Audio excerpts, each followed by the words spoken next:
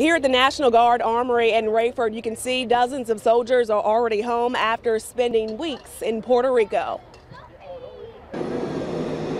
They're home. We had missions in Ponce, Guayama, Villalba, Coamo. North Carolina National Guardsmen spending 40 days in Puerto Rico.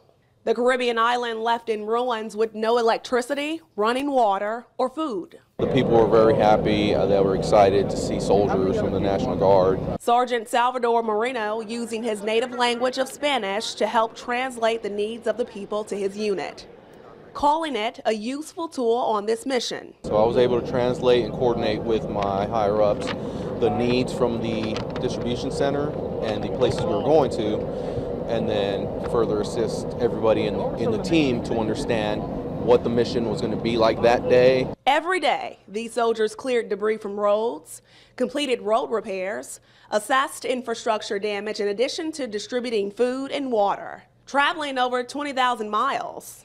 For Sergeant Marino, seeing the children on the island made him emotional. I would say that they're very resilient. As kids, I, I don't know if they realize the full impact of the situation.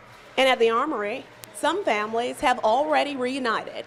My wife doesn't like for us to eat fast food and but it's a splurge meal for the Singletary family because daddy's home. But my kid, my babies love uh, McDonald's Happy Meals, and I said, you know what, we're going to get a Happy Meal. A celebration for this family and the many others who have waited for their soldiers to come home. And soldiers tell me it's good to be home. Of course, the first order of business is spending much needed time with family. We're now reporting in Raeford, Akilah Davis, ABC 11 Eyewitness News.